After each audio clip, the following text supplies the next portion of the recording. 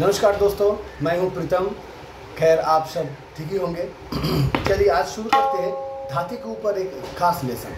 धाती जो हमारा यहाँ पे फिंगर में, इस मिडिल फिंगर में यहाँ पे बचते हैं, इस पोर्शन में।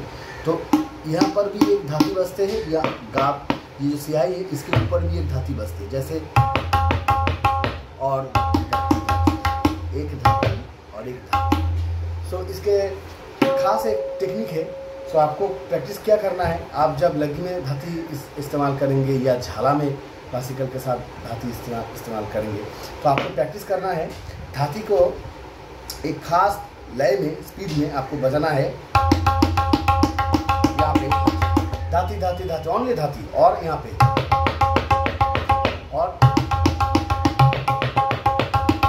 और बाया में घे घे घे के चलता रहेगा। घे घे घे घे घे घे घे।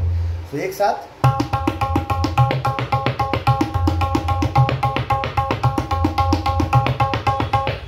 बाद और एक लेसन करेंगे धाती धाता धाती धाता धाती धाता धाती धाता